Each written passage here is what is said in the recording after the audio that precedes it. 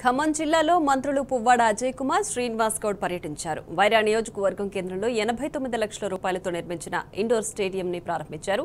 ఈ కార్యక్రమంలో ఎమ్మెల్యే రాములు నాయక్ జిల్లా టీఆర్ఎస్ పార్టీ అధ్యక్షులు MLC Tata Madhusudan Wyra municipal chairman Jaipal మాజీ ఎమ్మెల్సీ బాలసని లక్ష్మీనారాయణ పాల్గొన్నారు.